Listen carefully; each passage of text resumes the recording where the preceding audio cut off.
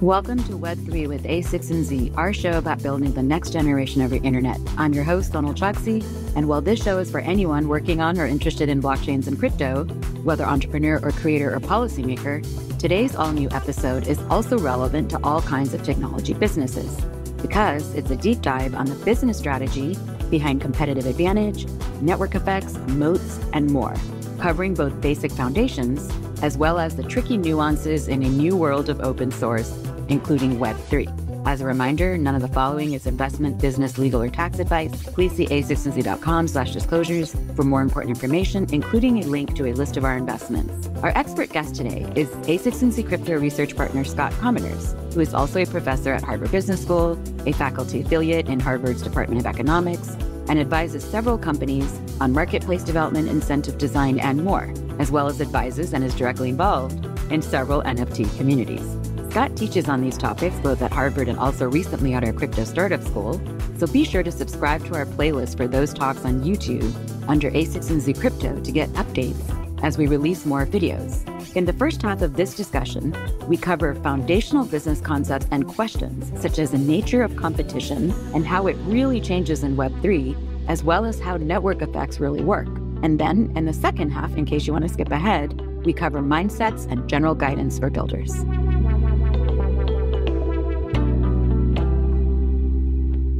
So, Scott, the focus of this episode is all about business strategy for Web3. Now, that is a meaty topic and that's a lot to cover.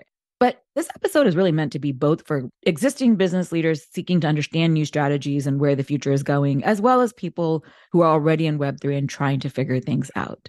To start things off, like what would you give us as a framing mindset for how to think about business strategy for Web3? Absolutely. So almost every Web3 business is an example of a platform. And I use a very broad general definition of platform. So a platform isn't just you know a two-sided marketplace where there are sellers on one side and buyers on the other and the platform is mediating between them rather platforms are any context in which you know a business is engaged in enabling people to interact with each other but it's characterized by network effects the more people on the or users on the platform the more powerful and higher quality the average interaction is. And I should emphasize that platforms are not a novel business model to the internet.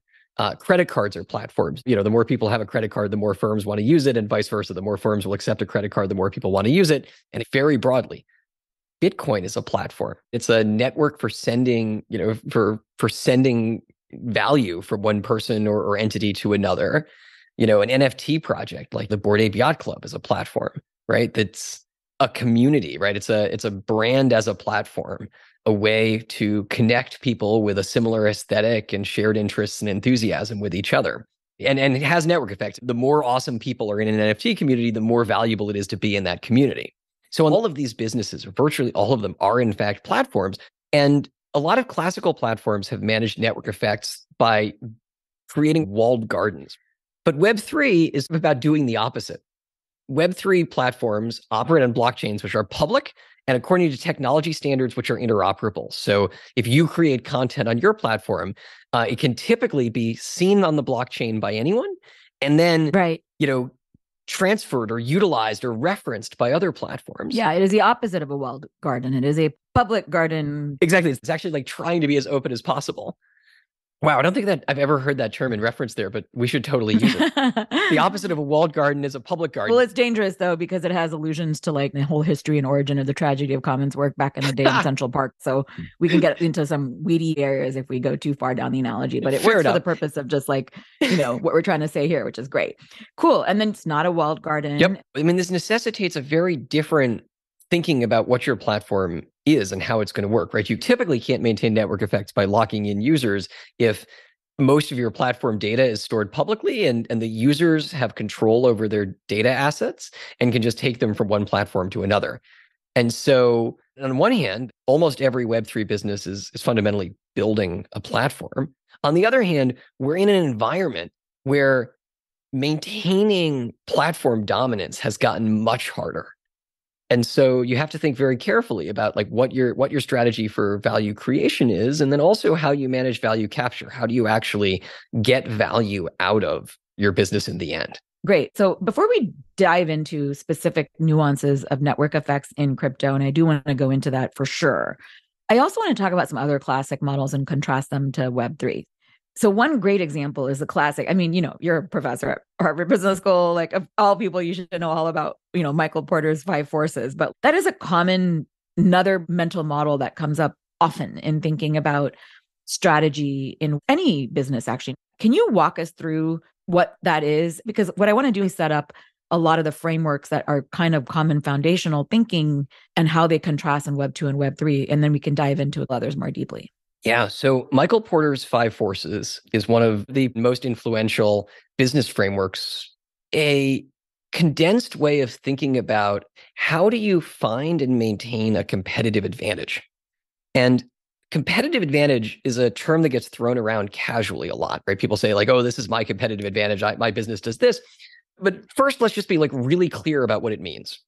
In Porter's view of the world, competitive advantage is a distinction of your firm relative to others. And it's measured in terms of value creation. Competitive advantage isn't like saying, I'm, you know, I, I'm really good at software engineering. That's that's my my it's my competitive advantage. Because the question isn't like, are you good at this thing, but rather, how does it map into the output? Right. The value creation. The value creation. Like, are like, does the fact that you are good at software engineering enable your firm to deliver a superior product or a lower cost product or both? Have you expanded the value that is created by your business operation? And you know, it's about performance, right? It's not like just are you good at this thing, but rather how does that affect your performance and enable you to outperform your competitors in some way?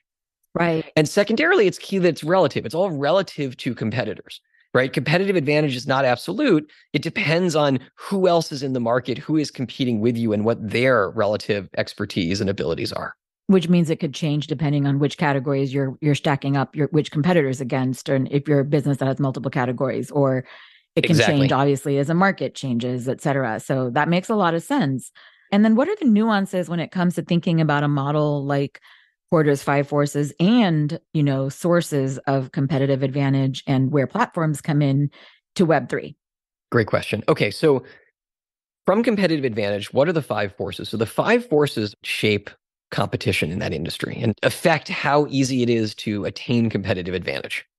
So, first of all, there's just like general competition among your rivals, right? So there's sort of the, the static state of like what are all the businesses build, you know, building similar products, competing for the same users, sort of how strong is that rivalry? How intense is it? And and and what are those firms? Oh, and, and I should say this is usually represented with a circle in the center, which is competition among current rivals. And then, you know, the other four forces are are usually oriented around it like a compass rose i guess northeast southwest you get the idea. So the circle in the center is the current competitive landscape. And then on one side of that is new entrants. So if this is a particularly valuable market or if someone you know invents a new technology that enables them to enter they might show up and, and become a new competitor. The new entrance is west uh, and east uh, is substitute products. So not someone who does what you do, but someone who does something that the customers want just, you know, sort of as as as a replacement. So think about this with the social media wars. One ongoing threat to the competitive advantage of any social media company is the possibility not that like somebody new will come and compete with them directly. It's proven in, in many contexts to be very hard to compete with the dominant social media platform with a given function because the network effects are so strong but new functions evolve competing for the the usage share of social yeah. media to me the best example of this is facebook as a social network versus instagram yeah. It's a substitute and they could see people engaging actively there in a very different way. Exactly. Another example might be like cable and you could have new entrants in the form of more cable providers but then yep. you have a threat of a substitute like on demand. On demand streaming. Perfect. Beautiful illustrations. So that's west and east. So then north and south, think about like a supply chain. So above, there's the bargaining power of your suppliers, and below, there's a, the bargaining power of your customers. And so, if something happens that gives the customers more bargaining power, could be a, a, change in law, could be like a change in the demand structure. Like maybe the customer's bargaining power could go down, right? If they, you know, discover they really like absolutely need it, something that was previously social becomes a critical work function. The other forces that shape competition are these relative levels of bargaining power, right? It's like how how well can you bargain relative to your suppliers to whom you're paying and your customers who are paying you. Right. So those, those are, are, the five forces. And they're called forces because each of these forces exert pressure onto that industry. Yes, exactly. And then how does that apply to Web3? So blockchain based platforms store their uh, you know store their data in public which means that a new platform can leverage a lot of that data by the way this is an oversimplification right a lot of platforms store some of their data in public and some of it in private but but a lot of their critical information right user user identity reputation you know the, the, the stuff that we think of as most valuable is often stored in in the public uh, you know, on the blockchain, because that's a lot of the advantage that the blockchain is giving Web3, right? It creates this ledger upon which many different things can build and interact. But that, of course, means that it becomes easier for an entrant to show up because they can build on the code base that's available. They can build on all the content networks. And so, you know, that that west, you know, point on the compass rose uh, is getting more intense, right? There's more competitive pressure there. Meanwhile, on east, that was our availability of substitutes so suddenly now with decentralized protocols, there's often an immediate substitute available, which is just a fork of the original protocol. Yeah, that's true in any open source, right? Any open source context, exactly. And then meanwhile, on bargaining power on both the buy and sell side, one thing that we're seeing is that because users uh, of the platform, a lot of the critical data and information is stored in their crypto wallet and under their control they have more ability to move from place to place. They can, you know, they can freely pick up all of their data assets and just move them to another platform simply by connecting their crypto wallet. And so there's more of a threat that people will leave. And so in both sides, you know, north and south for bargaining power, you know, the the bargaining power of your users is often getting stronger. Right. Right. Because they have more direct control. And then finally, that circle in the center, right? Because the users can get up and leave, we're seeing lots of strategies whereby platforms try and incentivize users to switch. And so there's been more intense competition for users because of this relative low switching cost, like flexibility of moving across platforms. And so on every one of these dimensions, there's at least one pressure that makes the competitive forces stronger in Web3. It sounds kind of bleak, but but exactly, yeah, yeah, right. It's like, you know, hang on a second two really important things to keep in mind. First of all, on the customer and supplier side, there is something really good going on too, which is that you have this opportunity to create what uh, my co author, actually, several co authors, Jad and I have written about this, Christian Catalini and I have written about this. We call community cohesion. There's an opportunity when convert your users into people who have a true preference for your platform. They actually want to use your platform over competitors. And ironically, that comes through the same thing that creates this lack of switching costs, right? The the giving users a, a slice of of digital ownership, you know, sort of, you know, controlling assets that come from their interaction with the platform and and often give them some degree of governance or or advanced user privileges or whatever mm-hmm. that causes people to want to participate in a given platform it's not that we've you know somehow locked the users in, but we've actually given them a preference for staying with the platform through shared ownership. That's really powerful, right? That's the thing that we didn't have a way to do previously, you know, at least not at the scale that we're talking about in Web3. Yeah. But remember, I said there were two saving graces. Like one of them is that there is this like completely new way to maintain your network effect, which is maintaining a network of, of personally invested users. And the second thing is while competition is maybe getting more intense in a lot of dimensions, those personally invested users also have, you know, a strong incentive to create a lot of value. The ideal of Web3 is not that you sort of have these platforms that have locked in a bunch of users and are just extracting value from them. To the contrary, you have engaged users who are sort of in, in a real sense like part of the platform like you know, sort of often often literally right like they're making governance decisions for the yeah. platform And that doesn't just make them want to stay with your platform, but actually make them want to help it succeed. And so there's this possibility of like growing the pie far, far larger than classical platform design because now you have this like highly engaged user base, everyone who wants to the platform to succeed because they succeed along with it.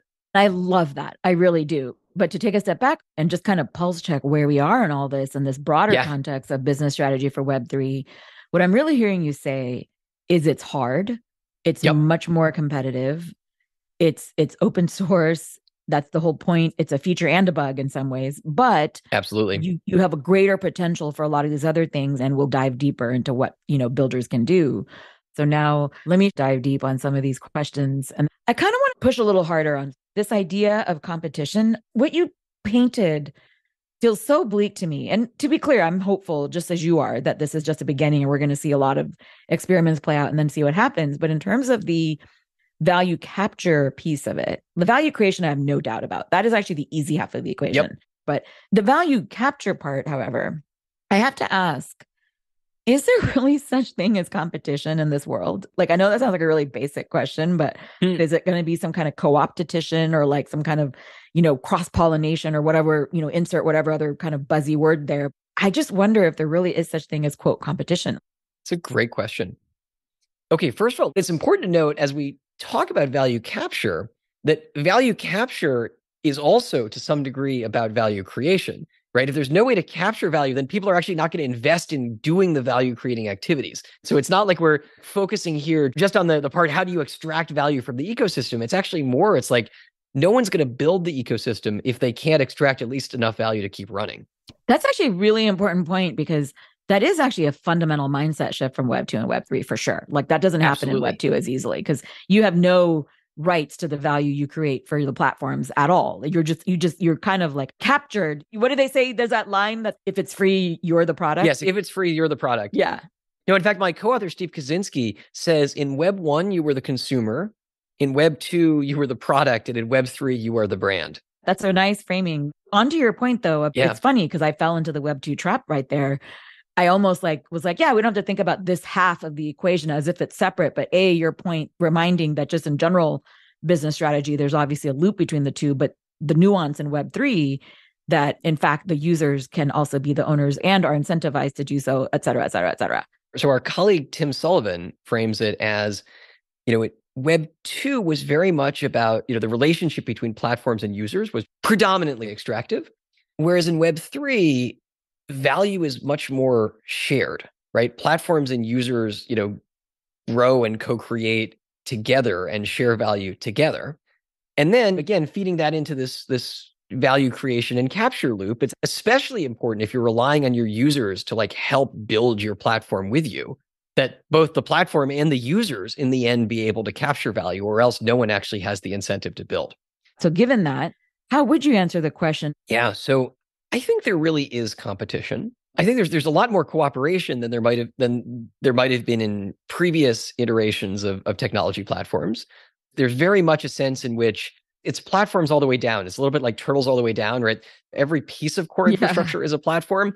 And so, you know, if you think about it like uh, you know, a wallet like MetaMask is of course a platform.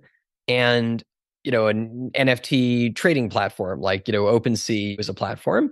And you know, MetaMask benefits from the existence of these NFT trading platforms and, and from all the people who are creating NFTs. The platforms, the NFT creators benefit from the availability of MetaMask and users, you know, sort of interact with all of these different systems. And so all of these things are like cross-pollinating and cross-operating platforms in a way that like is much less centralized. There's always been some degree of cooperation of, of this form. Think about like, you know, payment processing companies right? Like the invention of a of a more efficient web-based payment processor fostered you know growth of lots of different types of consumer web platforms that couldn't have happened without payment processing infrastructure and vice versa. That's kind of like the relationship I'm, i've been describing with metamask and the nft platforms and so forth. It reminds me of the early days of the api economy as well. Yes. And the thesis was that like there would be like all these different companies that have like a specific core competence and they would focus on that core competence and then pull in APIs for everything else, which kind of supersized your powers. And to be able yep. to do that, it was like this interlocking set of like APIs. Yeah. But here, the scope of every one of these innovations is much broader. The process of integrating one of these platforms into yours or em- embedding features or something of the sort is, is much faster and easier. It has less friction. It's like there's sort of an, an infinitely public API for, for most of the core content. And so in that sense, there's a lot more composition and collaboration among among different players in an ecosystem. You know, so going back to that diagram, as I mentioned on the West and East, it's much easier for new entrants to appear and it's much easier for substitute products to be created in many contexts. And so, you know, if you build something that works really well, there's a much greater threat in web3 that like your entire network could just get like moved to a to a, a competitor. Could even be like a copy. You know some new entrant can try to capture all of that activity by you know directly incentivizing users to switch uh, this is this is what's you know referred to colloquially as a as a vampire attack, and I know it's a it's a funny name, right. of course, because you know vampire attacks are actually blood like sucking. exactly, you know, it's like trying to suck the lifeblood out of your competitor, and of course.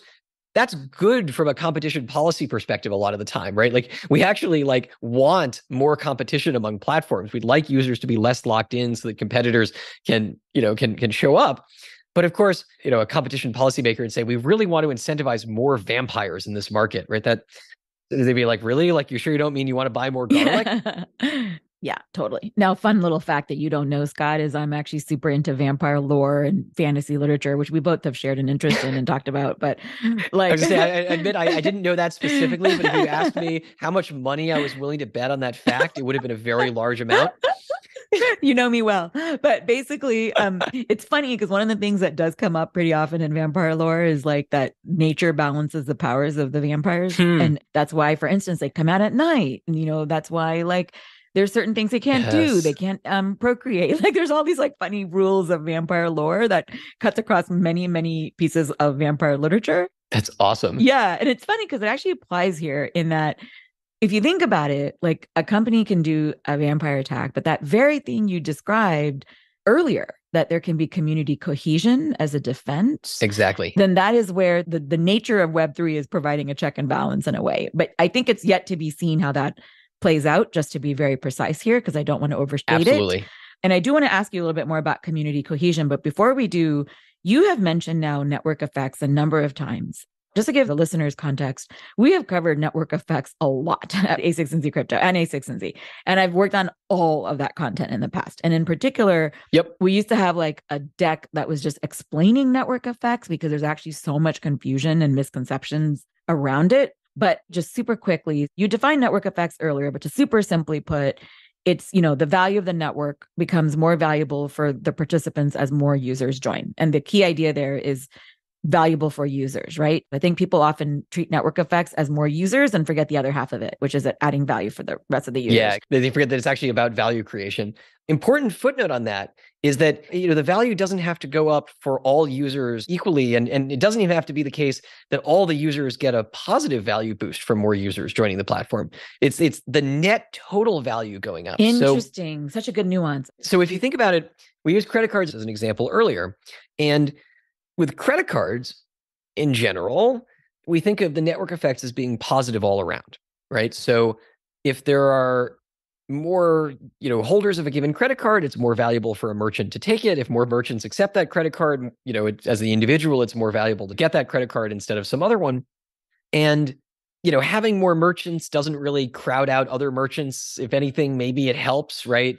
So mostly the network effect of a credit card is cross platform it goes from holders to merchants and vice versa, and it's strictly positive. By contrast, with newspapers, the more readers the newspaper has, the more valuable it is to be an advertiser. The more advertisers the newspaper has, the the more annoying it might be as the reader to read the newspaper because you eventually get to this position where you know every other page is some gigantic ad you really want to finish the article that you're reading and instead you have to flip through three pages of advertisements or something and so there, you know, there are actually some negative platform externalities as well. The advertisers exert a negative externality on users and a negative externality on each other. But it can still be the case that the overall network grows as we add more users.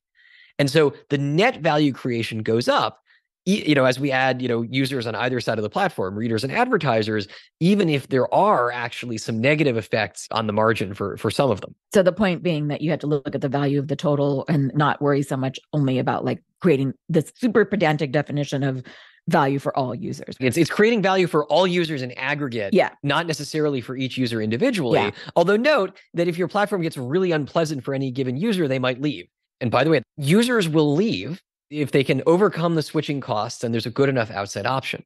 And so users' ability to respond to negative network externalities, to things that make the network potentially less pleasant for you as the individual, even though its net value in aggregate might be higher, is much harder in Web 2. There's a really high barrier to exit. It's just it's hard to exit. And that means you know you're you're kind of locked in, which means you have very little bargaining power. And so that's how we get to this extractive equilibrium. Web three is, as we've been saying, it, it, in a lot of ways the opposite, right? Yeah. You have all of your your network sort of embedded with you. I have lots of NFT communities I'm a part of, and any platform I connect to you know they can see all the communities i'm part of and anyone who's part of those communities on the platform can find me immediately right? Like i was totally you know stunned when i joined my first you know web3 enabled social media. It was it was farcaster and i could search by community right? I could go and find the people who held there's a network of content i'm really into right? These are all people who are a lot like me. That's why we're all in the same nft community in the first place. And that was sort of wild, right? I had brought this like external network affiliation directly into a platform and taken all of that connection with me. Totally. Just to pause on what you're really saying there, because I think this is so profound. In Web3, you're saying that it's not just that you can take your data with you, but you can actually take your reputation history, interactions, like there's so many other things that kind of embeddedness of that. But just the, the more profound idea here, I just wanted to sharpen that nuance. Yep. Is platforms previously were never portable. And you're almost saying that the user themselves are the platform and that is now portable. That's like so fascinating. Absolutely. And this goes directly to this like community cohesion structure, right? Like Christian Catalini in a, an article we published just about 12 months or so we talk about the network effect now accruing to the asset rather than to the platform or the portal. And that's sort of what's going on here, right? It's like, you know, Elite Skulls NFT or a SupDuck or a or or a Bored Ape or whatever. The network is embedded in the collective of people who own these assets. Mm-hmm. And so there's sort of a new game about trying to be the platforms whose assets are the ones that people want to attach to their identity and, and like are the thing that they want to use across the internet. Um, and so you think about Web3 social media design paradigm at a very high level, Farcaster directly encourages the development of many different clients, you know, different ways of displaying yeah. and remixing and serving the information that lives in the protocol. In Web 2, that like would be dangerous. Here, like that's actually very powerful because it draws more and more activity and value right. back to the underlying Farcaster protocol. It becomes more embedded. Right. And it goes back to your way earlier point. It's increasing the size of the pie for everyone. I just want to also quickly just mention that in that article, which I'm just going to link to in the show notes, this was the article that you guys published in um, Competition Policy International, right? That you're referring to. Can Web3 yeah, CPI bring back, TechREG Chronicle. Yeah, can Web3 bring back competition and digital platforms? But you do point out that Web3 could reduce the fundamental costs of verification, the costs of interoperability and portability, and the cost of composability, which is exactly kind of what you're talking about there. Yeah. But it's funny because then it go going back to my original question, I still haven't really heard. Like it's definitely good in terms of bringing back competition to digital platforms as your guys' article posits and in terms of making them less yeah. concentrated and consolidated among a central few but it doesn't answer the question of who and how those people get the advantage. So I finally understand what you what you meant when you asked about, you know, is this reducing competition or really like, you know, creating competition at all? So I think it's changing the character of competition. Oh, say more. So we've seen over the last year extremely intense competition among NFT trading platforms on on fees and on features. We've seen intense competition uh, in various you know DeFi trading contexts, um, literally like you know people writing algorithms that will like move someone's assets from one liquidity pools on one platform to another one, uh, you know, sort of automatically. Um, we've seen aggregators that basically make it easy to like price compare across all the different places you could place a given trade.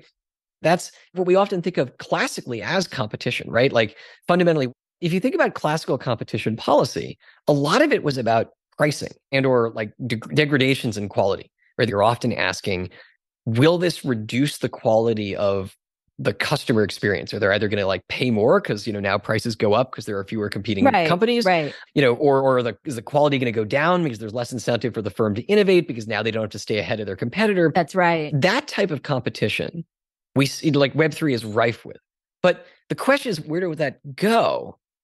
What it really turns into is the platforms having to work to retain consumers to like yes. create an environment in which the customer wants to stay on the platform rather than switch over to a competitor and so what i think of as, as particularly virtuous competition right development of features development of rewards and loyalty programs right developments of various infrastructure that improves the customer experience and often that's going to come through mixing and matching. It's like aggregating sort of all the best features from all the different platforms. I got my answer. Thank you. Thank you. I didn't know what the answer was, by the way. I was just like trying to genuinely understand it. No, no, it was a great question. The way this my is, listeners this is, this is how, you act, how we actually learn stuff. Yeah, right? Like, you know, exactly. You, you, you, push on a thing and I'm like, oh, I get it. There, there's your answer. One thing we haven't talked about is where does this idea of composability, which, you know, Chris Dixon has a great line how composability is to crypto what compounding is to finance. It's this idea that mm. it's like an exponential force. And that's super yep. interesting to me. And you have talked about in your work, Scott, this idea of compounding innovation as one of the benefits, you know, that can yeah, come out absolutely. of Web3.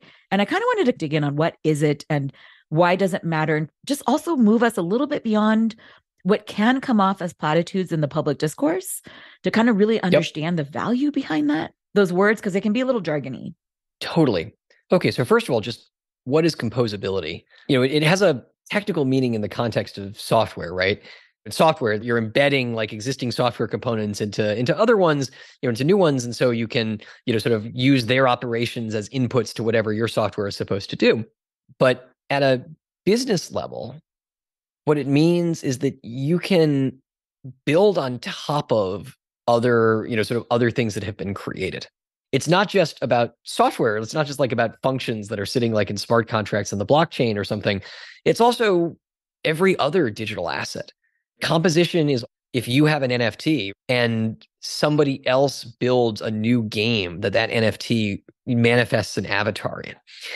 There's this massive um, NFT ecosystem, I guess is the, the right word, around some very, very simple NFTs loot, which basically are just lists of various adventure game yeah. items, you know, bag of holding, uh, you know, you know, rod of wrath or whatever. I don't remember any of the actual like loot items, but it's stuff like that. And people are building entire games that embed the loot assets. So if you show up with a given one of these quote unquote loot bags, you'll have those assets in the game and now they do things and and this is a form of composition as well. But okay so from a business perspective like why do we care that you could even do that? Well it speeds up innovation. It allows people to innovate in ways that maybe they couldn't before. Maybe someone is really good at doing one type of business function and not others and now there's a whole library they can pull from honestly we saw this as well with all the web 2 infrastructure platforms once there was mm-hmm. you know a, a, bunch of out of the box you know uh, web platform creators now if you had a really good idea you maybe didn't need to also be a ridiculously good software engineer at the beginning you could you could integrate a bunch of tools together and launch a pilot you know a minimum viable product exactly. with almost no complex software engineering web 3 is just that but for everything it's that for the underlying software that runs the platforms. It's that for all the brands and identity formation that people are doing. It's that for reputation markers. It's that for like our personal data. It's all of that rolled into one big snowball right like you know you can you can combine all of this stuff however you want so we've got this like snowball that's rolling down the hill getting super gigantic and then at the bottom we have a gigantic snowball and we can like carve out any little bits of it we want to create our business that's funny the analogy i was trying to think of was a bit like a primordial soup. Yeah. And the reason that came to mind is do you remember back in the day, it was like kind of in the early days of Google when Hal Varian, who was the chief economist there, wrote about um, combinatorial innovation. And it's so jargony of a phrase. Yeah. But the idea is really fascinating. You're a mathematician, you know combinatorial math. Yeah. Permutations and combinations grow quickly. Exactly. Or derivatives that Yes. you can actually extend. And and when you mention loot, actually, it's really funny that you brought that up. It's obviously one of my favorite examples too. But what I found so fascinating about the loot example there is it doesn't have to be full featured, which is a big difference in the kind of early days versus now, because you have literally primordial ingredients that aren't fully ba- baked and fleshed out because there is this sort of innate ability for these ingredients and these people and communities to sort of form quickly and bottom up and Ah. move around them and put them together in ways without having to have like this full featuredness to it too. That's such a cool point. You're exactly right. Right. You know, imagine if 10 years ago anyone ever said, "Uh, you know, I'm going to launch a product which is basically just like the foundational items for an adventure game. And then like some people are going to build the game around it. Makes no sense. Right. Yeah. Whereas here you can do that. You can say, look, I've got this cool set of items.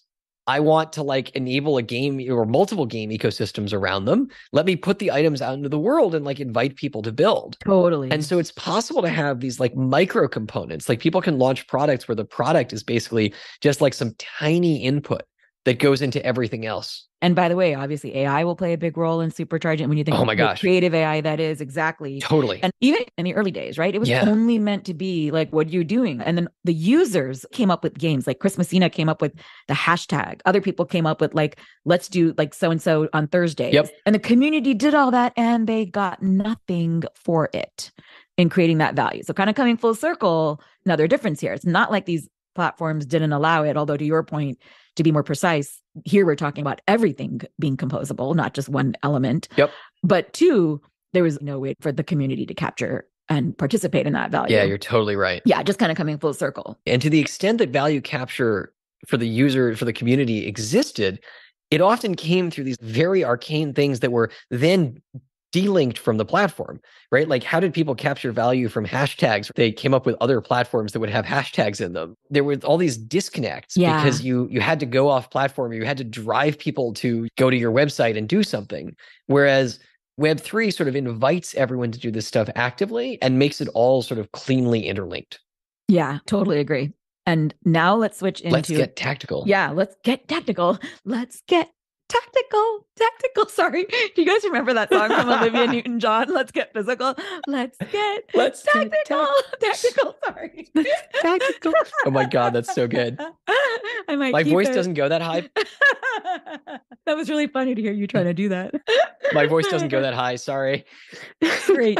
So now I want to spend the rest of the time just going now into what does anybody do with all this information? And if we don't have answers, let's share mindsets, what to do, Right. you know, just all of it. So, in terms of breaking this down, a good place to start for the builders and the audience is like, how would you help them understand the key aspects of network effects? And then how do they sort of think about it, what, depending on what type of thing they're building in Web3? Cool. So, first of all, it's really important, just the high level. I like to think about network effects in terms of their strength, their valence, and their source. Ooh, cool. So, strength is exactly as it sounds. It's like how strong is the network effect? How much pull do users sort of exert on each other? Does the platform sort of achieve over time? And and and note, you know, there's absolute strength and then there's marginal. It's like how much, you know, when we add a new user, like how much does that affect the network effects in general? And it might vary by user as well. So some users might, you know, really benefit from there being a lot of people in the network. You know, if you're a, an online job search platform, people who are looking for jobs benefit a lot from the fact that there are a lot of jobs available on the platform. And people who are not actively looking for jobs might also benefit some because think about all those inbounds um, you know one gets on on LinkedIn or whatever. But they might not benefit as much from having all those jobs on the platform because they're mostly happily situated. And so it might there might be dispersion among users. Uh, and another you know key factor in terms of strength is like are the network effects local or global? There's a different bike share company in like almost every city that has bike share.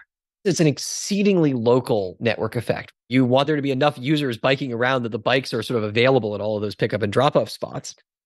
But the fact that you're a, a, bike share customer in Boston has very little implication for whether you have any interest in bike shares in, in New York or San Francisco or whatever.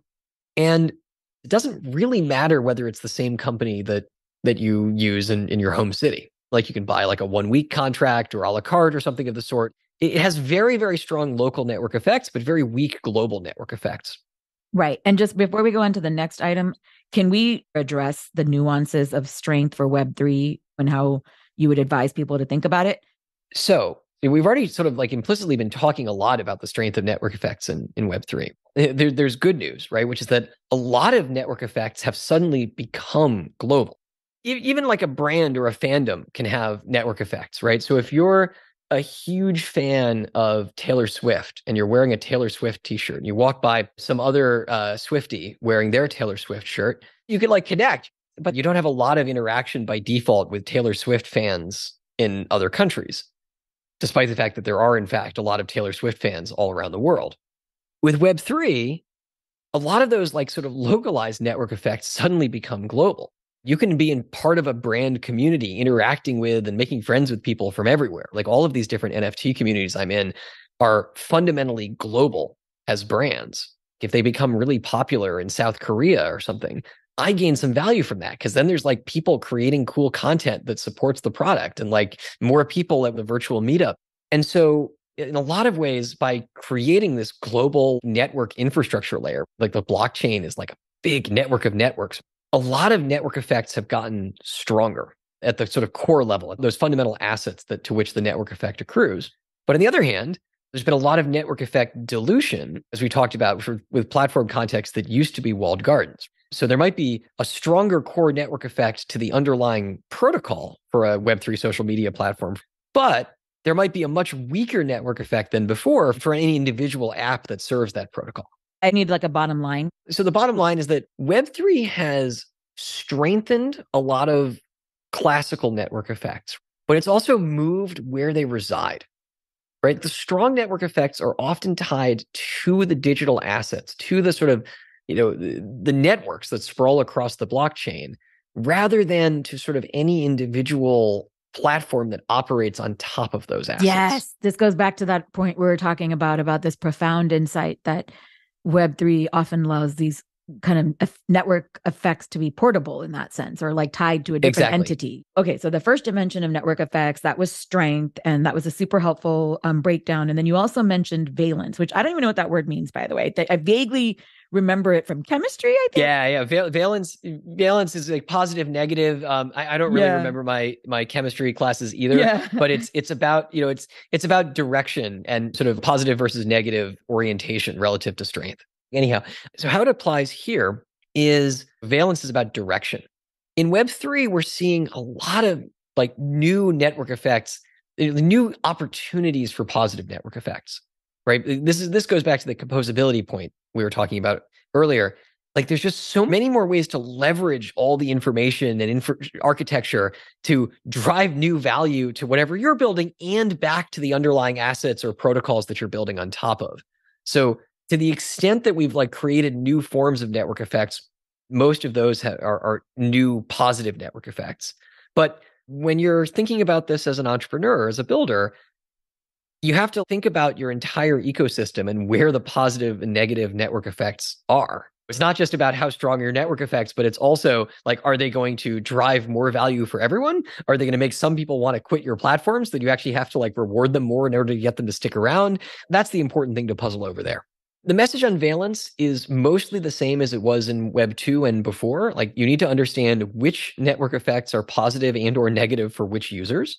And then the Web3 opportunity that's special here is through composability, there are many new opportunities for aggregating positive network effects, either yourself or through partners and, and future developers who build on top of what you've created. Okay. And then the last one you mentioned source. Um, talk to me about what that is in this context of of dimensions of network effects for builders to think about and then application to Web3. Okay, source, you know, in some sense is the most self-explanatory of the three. Source is just where the network effects come from. And why do we care about that? So the first two we talked about, strength and valence, are really about value creation. They tell you how much value your network will create and how that value will grow as you bring in new users and add new functionality. Source is about understanding how specifically you foster that network effect, and relatedly, how defensible it is.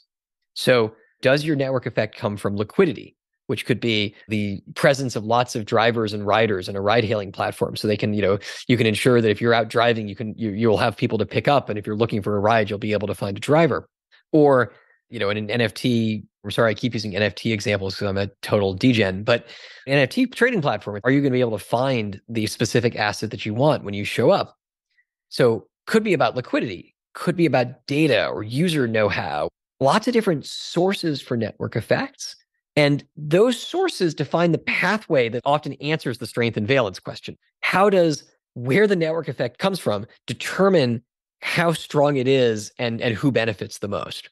And then segueing back into the competition discussion, it also tells you how defensible it is. Like in a lot of Web 2, as we've talked about, the network effect defense came from having aggregated massive amounts of proprietary data and user reputation and user content that it was very difficult, if not impossible, for users to take with them to get a similar quality experience elsewhere.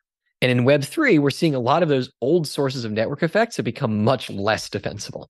Awesome. And the bottom line? The bottom line on source is you have to understand the source. You have to actually understand the mechanism of network effects. It's not enough to just say like, oh, we we have a network that's growing in value. So like, you know, you should you should join and invest in our network. Like that's not how it works. You actually have to be able to understand the pathway through which the network generates that increased value. Ah.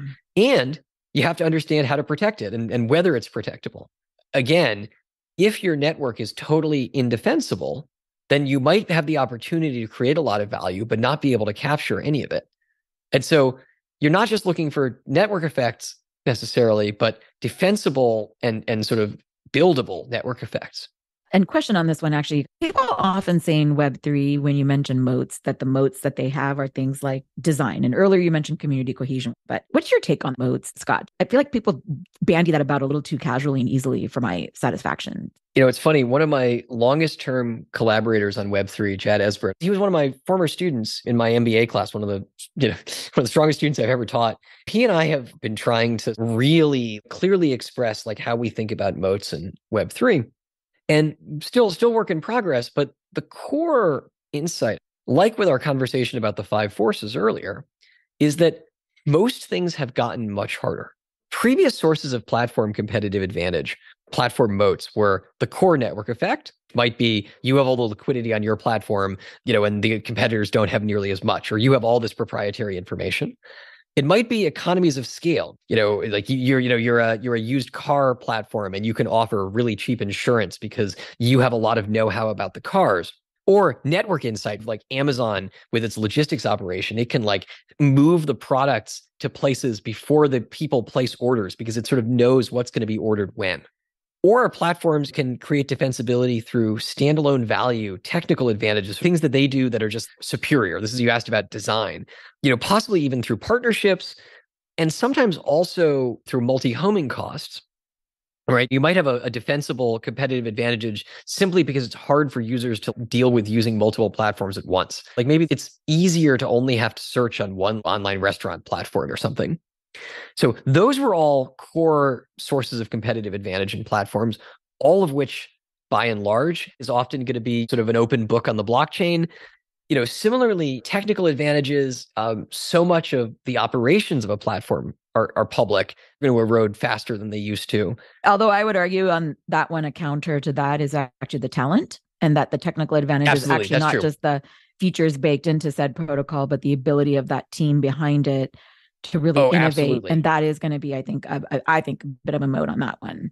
Absolutely. No, no, I totally agree. It's totally right. That's not platform specific, but it is a very important source of competitive advantage. Remember, we talked about higher quality or lower cost. Both of those things are influenced by the quality of your talent. And talent has always been a competitive advantage, especially in complex and high tech firms. Right. As Web3 is more complex and often more high tech than anything that's, you know, it's come before it in category, the talent moat has widened and deepened. Yeah, totally. But like the core platform competitive advantages have mostly weakened. There's one though that really stands out as having strengthened tremendously. And that is which is embeddedness. And say more about that. You've mentioned that a few times. Yeah. So another way that platforms achieve dominance is by being embedded into everything. If you think about Gmail as the login to so many different web platforms. Many people, they don't know their account credentials for those websites. All they do is connect Gmail and it like propagates credentials for them. That's embeddedness, right? That makes Gmail a necessary service. Even if you didn't have all of your emails stored in Gmail, the network effect comes from proprietary data and having all of your content stored there in a way that's really difficult to port. But even if you took all of that away, like if tomorrow like all of the, the email became suddenly like flexibly transportable between gmail and outlook people would still have so many accounts that were managed through gmail they'd have to keep logging into it this is where like wallets have a lot more potential for embeddedness absolutely even in fintech we talk a lot about not only wallet as interface but connie chan and i did a piece around WeChat and the idea of the payments and Alibaba and everything, Alipay, and this idea. It was both payments and messaging combined that became the interface to everything in yeah. that old world. And granted, that was a very locked, walled garden because obviously it's not open to anybody but the people on those platforms and it was in China so it's even more wild. But the example that does come to mind in web3 is how identity becomes the the interface for decentralized absolutely. identity. So there's like a lot going across the board on that embeddedness point there. And indeed and exactly as you say the Alipay example is is perfect. That's a classic web 2 style platform eh, that maintains a lot of its advantage through embeddedness. It, like it's just used in so many different services Web3 opens that up. And again, it opens it up to everything. Yeah. Your, your crypto wallet can be embedded in many different services, but also so can your NFTs. So can your digital diploma. Like, so can a, you know, a simple function protocol you wrote, like something like disperse.cash can become part of many different finance products that software embeddedness which you mentioned open source earlier like this was also true in open source right it's like how do you know how did like individual open source software products become most successful, it was people built lots of stuff on top of them.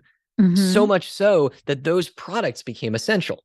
Totally. Although qu- one quick precision note on that one, yeah, as you know, obviously open source history person. Yeah, you're, you're like a you're a literal expert on this. a couple of no- quick notes on that. It's really interesting when you compare like Linux Foundation and the kind of model they set up, and then say something like npm, the Node package managers, and the Node JS community, et cetera. Mm-hmm. It's also very interesting when you also think about other little components like um, what is it like SSH or whatever? It's like three people maintained it and it led to some serious vulnerabilities in like hospital system software because a lot of people began using open source. So just a quick contrast nuance that it is very similar except very different because that lacked the economics of participation. Yes. And therefore no incentive yeah no make- you, you're totally right. Somehow now you have that same embeddedness opportunity but with an incentive to build. And maintain etc yeah. yes sorry. Yeah, yeah, yeah you're right. Build and maintain. Spot on. And then just one quick other one. You've mentioned community cohesion a bunch of times and that's one of the other things that you you put forth as one of the stronger benefits of competitive yeah. advantage in Web3. Now I want to also have you answer the second part of that question, and you already answered the first part. Same for community. So like what like what what are the nuances there? Like how much of a moat is it really? Pulse check it for me. Great question. So first of all, I should emphasize that like to me, you know, embeddedness was a was a classic model of platform competitive advantage, and it's gotten much stronger in Web three. This community cohesion thing, I tend to think is pretty new you know, not that it never existed before, but at least in the the classic platforms that I've looked at, I have never seen it, to my recollection, as a central part of the business model. In some sense, that's I think because they lacked the ability to do so, or like they lacked good tools to do so. Web three makes it possible to turn your consumers and your your or your users into people who are personally invested in the platform's success and who often interact and, and interface with each other towards the goal of the platform's success and in the process of using the platform. NFT communities are a great example of this, but we also see it for far less branded platform context. Think about like everyone who participates in governance on a DeFi platform or something to, to calibrate the protocol and, and sort of decide how it will run. And that comes out of this shared ownership. And it comes also out of the opportunity for, for your digital assets to, to drive new forms of quality and experience. And so a platform can build a moat around a user base that like really wants to attach to it that wants to use its product rather than a competitor's or or or rather than building their own and even better wants to contribute to making what they do higher value we haven't really seen these things play out at scale yet because it's just too early but we've seen really powerful examples of it at least in in play already and it reflects a like desire to publicly and personally identify with the brand attached to the NFT. It's like a sports or a music or whatever fandom, right? It's like you see the other people in this group as akin to you and you want to like engage with them and not just like hang out, but hang out in reference to and like sort of like more deeply engage with the assets. Yeah. I mean, I've been thinking a lot about the nuances while you're sharing all this. Like, how is this different than a fandom? How is this different than any other community? Is it just a more of a matter of degree than kind? And I think I've kind of landed on what you from based on what you just said, Scott. It almost feels, God, this is really an exaggeration, but like a tribe and even a religion where you have artifacts that you engage in. And again, I don't want to say that with all the negative connotations. No, it's it's funny you say this. There's this concept of a shared text. Yes, yes, exactly shared artifacts, shared symbols. Exactly. Yeah. And it's like modern meaning making, actually, if you were to really take it to the next level. Because when you say cohesion, that's like a fabric, the way people describe social cohesion and things that tie yep. people together. And that's often how people also think about religion. So it's not some abstract like concept like strong ties versus weak ties versus like interest graphs and like affiliate interests. Yep. Like it's actually really kind of core meaning at the, at yeah, the heart exactly. And it's going to sound absurd, but like imagine a universe in which people went around the internet self identifying as platform users. It's like, I get up in the morning and I am proud to be on Facebook. Saying that sounds a little bit hilarious. But you know, I was a really early Facebook user. You know, it, it had launched just before I got to Harvard as an undergraduate. And so we were proud to be on Facebook. We almost felt like we were building the product. We were finding like weird errors and glitches and things. And like you would submit like bug reports and like, you know, they, they would go and fix the very unusual like bug that you had noticed. It was a totally different experience of the platform. Web3 is trying to take that type of experience and make it not just a small platform thing, but giving people that sense of pride and ownership and contribution in the platforms at every scale. Okay, so let's shift more now into a little bit even more advice for builders and and how to really think about your strategy design and market design for Web3 and at a high level. We're not going to cover everything in this podcast, obviously, but I'm going to take some questions from Tim Sullivan, who's great former editorial director at HBR and he was executive director of UC Press and is now on my editorial team here and works with you as well closely. Woot. So I actually think this is a very interesting question, particularly the second half, which is the adoption cycle, like consumer demand drives tech advances and investment. Where are we in the Web3 space with regard to this dynamic? And how does this inform the space in which projects are making strategic decisions? I want to address the second part of Tim's question, which I found actually even more interesting, which is how this informs projects making strategic decisions. And mm. the variation that I'm most fascinated with here is this question, which is start niche first and then grow. Oh. Do they try to go mainstream faster or do they do a bunch of niches and aggregate those? Like, how to think about that strategically? Do they go in thinking, like, here's what we should do? I just wonder if you have a quick answer. Yeah, it's a great extension of the macro question. And, and you're actually asking a micro question. So, first of all, there's a general piece of advice I often give in platform design, which is a lot of successful marketplaces uh, and platforms more broadly start with a very broad approach discover a specific vertical or version of the product that works very well, narrow to that and optimize it like crazy, and then expand out again. Wow. Okay. So, so the, the one part of the answer on platforms is you often are in fact neither you know sort of going niche or broad you're actually sort of doing both but but in sequence and the idea is like you know think about like you know early testing and, and, minimum viable products. You might not know precisely who your customer is or what the most viable use case for your product is at the outset. Like you've launched a crowdfunding platform and you don't really know whether it's going to be most effective for crowdfunding for art projects or for i don't know like finance education or like you have no idea what it's going to be useful for. And so you might start by trying all those different types of campaigns, a small number of them, and, and see which stick. And then you discover that it's working really, really well for crowdfunding, like large scale, like, you know, theater performances or something like that.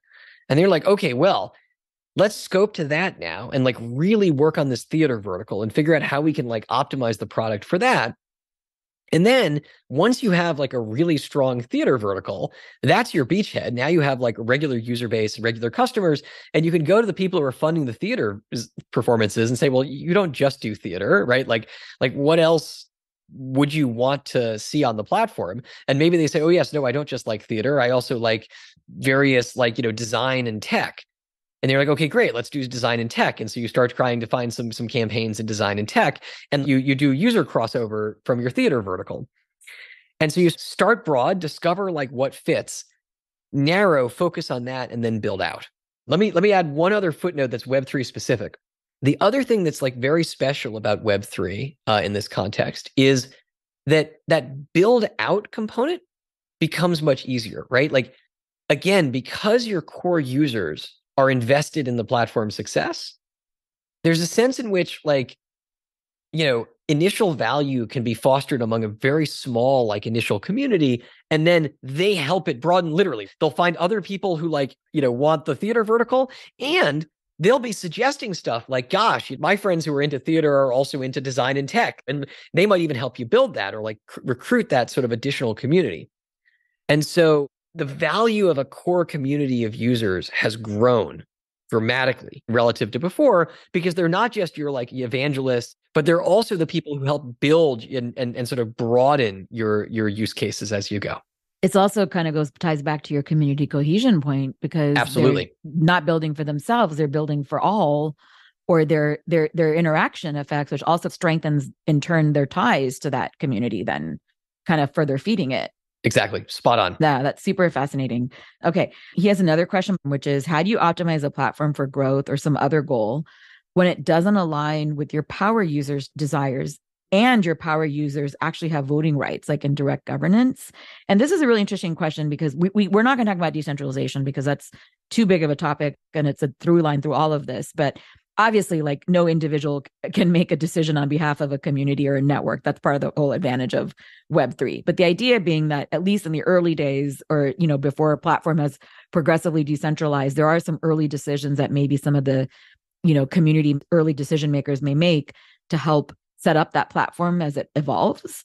And i guess the real question here is like how do you think about strategy and and growth when you have this like a very unique case of web3 basically. You don't have like a classic manager that porter was talking to back in the back in the day. Oh absolutely. It's a very real issue right? Like when you have partially or fully decentralized governance um, or even when you have centralized governance a platform's short-term incentives are often not aligned with the long-term incentives.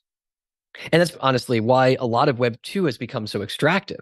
You know it, it, in the short run it's always better to like extract more today but in the long run, that means that the users leave your platform at the earliest opportunity they actually manage.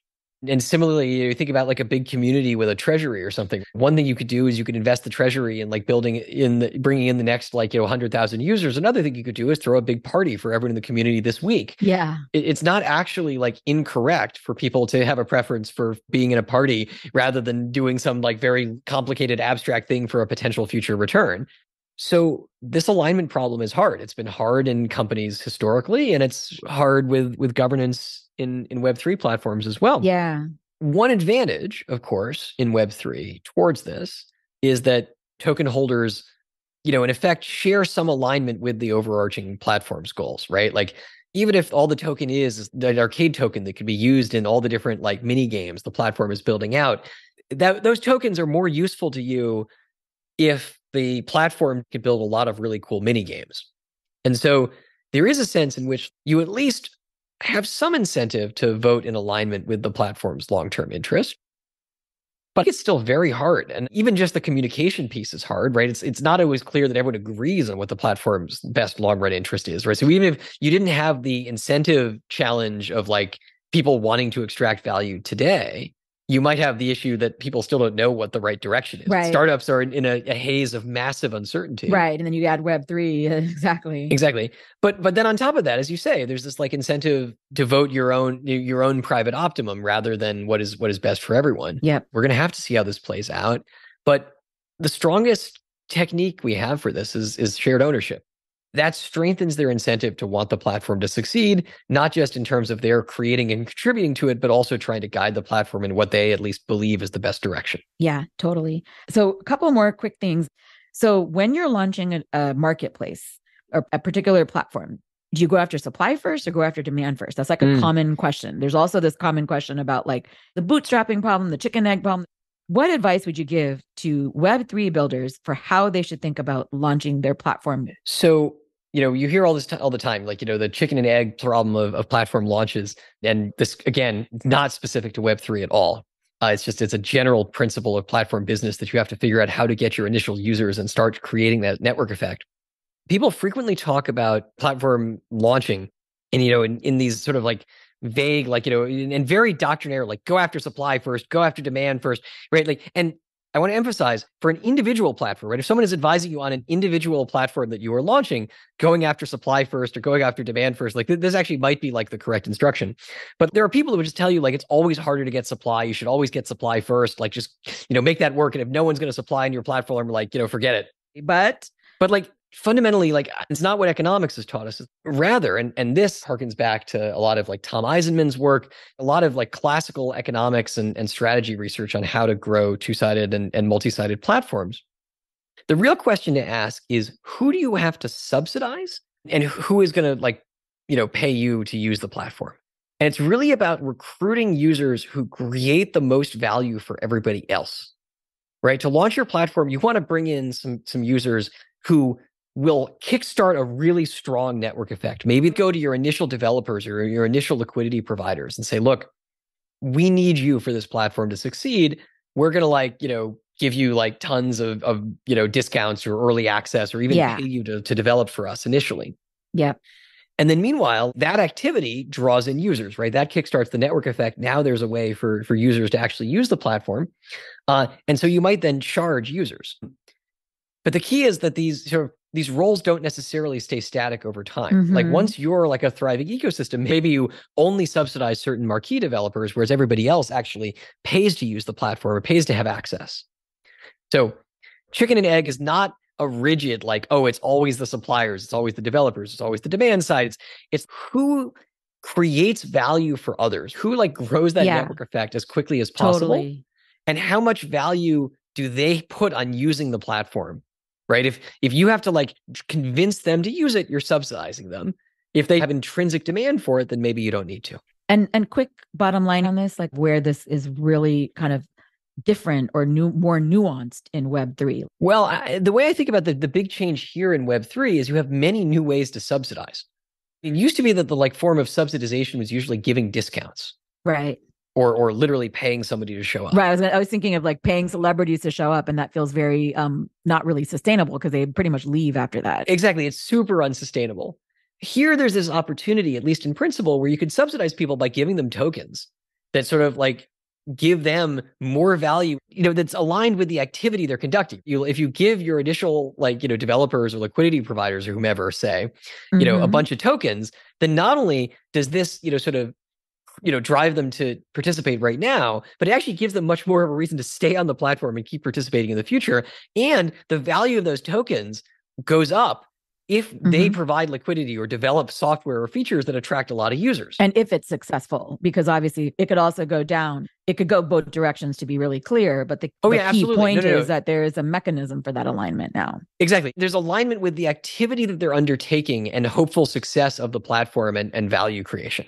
And then another quick tactical question. This is based on your paper with John William Hatfield. Mm-hmm. It's a working paper. It's a simple theory of vampire attacks. And the point that you made that not only do vampire attacks facilitate price competition, we obviously know that, but the most interesting part is that the Web3 platforms face even more competitive pressures Mm-hmm. when they have loyalty programs where like a classic traditional platform there would not face that same type great so what would like be your one kind of key advice for how builders in Web3 should think about this particular nuance? Great question. So we talked about vampire attacks earlier, and I mentioned that vampire attacks leverage on chain data and often involve a new entrant or an existing platform directly incentivizing an incumbent's top users to switch.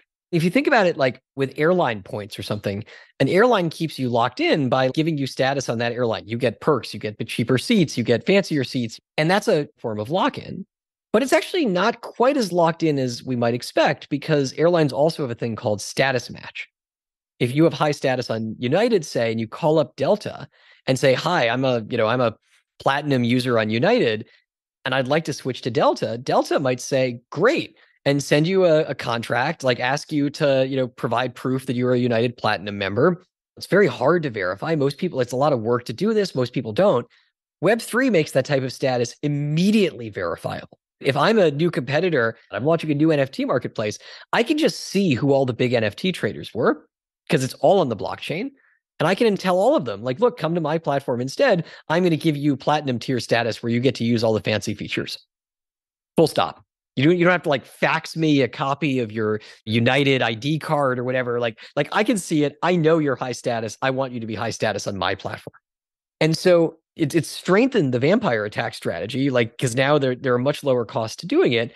But ironically, like loyalty is still to some degree the defense. It just takes this different form, right? Loyalty is not just about like giving people stuff, right? It's easy to replicate. Loyalty now becomes integrating people into the brand. Yes. It takes on purpose and like identity for you. An NFT trading platform wants their users to like want to use them and to feel attached to the platform. And it can do that in part through giving them premium features, sure, but it mostly has to do that by leveraging them as a group together and forming identity around the platform. That's fantastic, Scott. That is so interesting. Thank you. But I do want to take a step back and say, it sounds to me like you're, what you're also saying is it's kind of still early days for business strategy for Web3. Absolutely. There's this unbounded Web3 value in theory, but to make it practicable, we actually like have to solve these strategy questions to figure out how value capture is going to work. Yeah, even though if we have like ideas of how it may be, they may play out, it feels like at some point we may have to even abandon a lot of these old frameworks and models and come up with entirely new first principles based ones because I think it's unprecedented in human history that we have ever built businesses in this manner at this scale ever. I don't know. I mean, you can check me check me if I'm wrong. I mean, even past open source projects like they've never monetized in like the way that you know, this, the type of composability and interoperability and all these things we're talking about, I don't think we've seen that before. No, I don't think we have. I think you're right. I mean, you say early days. I mean, it's it's really early days. Yeah. Right. Yeah. You know, the Michael Michael Porter's thinking was a reflection on you know sort of the history of modern business you know uh, to date, and even most of the things we know about various eras of the web and, and web platforms are still relatively recent and still transforming and morphing all the time, right? Like, yeah, a lot of our early understanding of platforms and platform dynamics did not foresee the modern, you know, tech and, and media giants. And so, absolutely, I think we're we're going to need completely new business frameworks. It's like, how do you even start to define general principles for value creation and capture in web3 and and how do they relate to what we understood about previous incarnations of the web and and, and other related product movements like open source software.